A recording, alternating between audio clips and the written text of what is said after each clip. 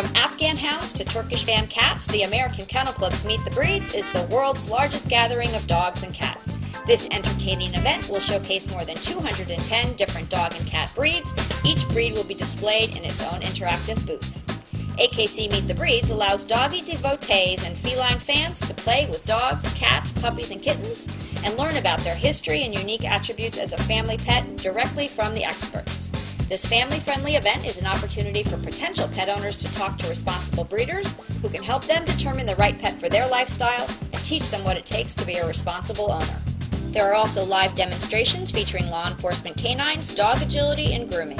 With over 100 vendor booths on hand, you'll find every imaginable canine and feline product just in time for your holiday shopping.